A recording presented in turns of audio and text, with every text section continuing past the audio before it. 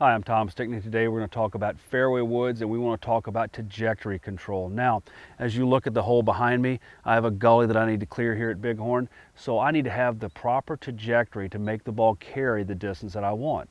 So there are times when I need to hit it higher and there are times when I need to hit it lower. And there are times when I need to hit it obviously my normal trajectory. So your normal ball position for a three wood is somewhere around your left armpit to your logo, somewhere around in here if I put the ball up closer to my forward foot, obviously the ball is going to tend to go a little bit higher. Uh, say it's going to carry a little bit further.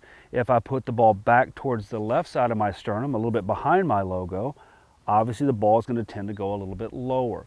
So when you have to control your trajectory and you need to hit high, shots higher and softer or lower and more penetrating, experiment with your ball position because when you look at holes like this, sometimes the wind makes you have to hit it lower. Sometimes you need to carry it further. You need to hit it higher. You if the wind's behind you, you know, so you can avoid the gully. So remember, you must control your trajectory on your three wood.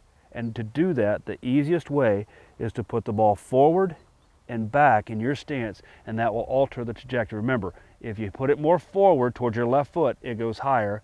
If you put it back towards your rear foot, it tends to go lower. That will affect your distances, so you're going to have to experiment with it on the golf course. But remember, higher and lower and normal will help you to control your trajectory on the three woods, and you'll hit it better time in and time out.